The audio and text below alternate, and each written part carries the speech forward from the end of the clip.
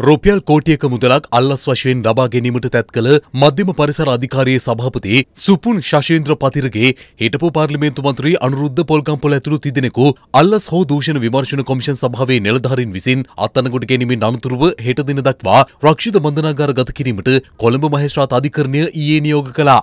ඔවුන් මෙම අල්ලස් මුදල ඉල්ලා තිබුණේ නෞකාවලින් නිවත් කරන දැවිතෙල් පිරිපහදු කිරීමේ ව්‍යාපාරයක් සඳහා වාර්ෂික පරිසර බලපත්‍ර ලබා දීම වෙනුවෙන් පරිසර අමාත්‍යංශයේ ලේකම් විශේෂඥ වෛද්‍ය අනිල් ජාසිංහ මහතා පැවසුවේ අත්අඩංගුවටගත් මධ්‍යම පරිසර අධිකාරියේ සභාපතිවරයාගේ සේවය අත්හිටුවීමට පියවරගත් බවයි.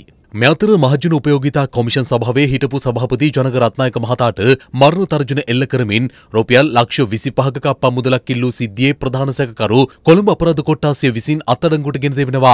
පොලිසිය පැවසුවේ අයිස් මද්‍රව්‍ය ග්‍රෑම් 12යි මිලිග්‍රෑම් 240ක් සමග එම සැකකරු වැල්ලම්පිටිය තැවැල් කාර්යාලය අසලදී අත්අඩංගුවටගත් බවයි. ඔහු මාතර සුල්තානාගොඩ ප්‍රදේශයේ පදිංචිකරුවෙක් වන අතර සිද්ධිය සම්බන්ධයෙන් සැකකරුවන් තිදෙනෙක් මීට පෙර අත්අඩංගුවට ගත්තා. මේ අතර හෝමාගම පිටිපන ප්‍රදේශයේ පෙරපාසලක් පවත්වාගෙන යන ගුරුවරයක් බියවද්දමින් රුපියල් ලක්ෂ 20ක කප්පම් මුදලක් ලබා ගැනීමට තැත් කිරීමේ සිද්ධිය සම්බන්ධයෙන් අත්අඩංගුවටගත් එම ප්‍රදේශයේ ග්‍රාම නිලධාරිවරයා ලබන 16 වනදා දක්වා රක්ෂිත බන්ධනාගාරගත කර තිබෙනවා.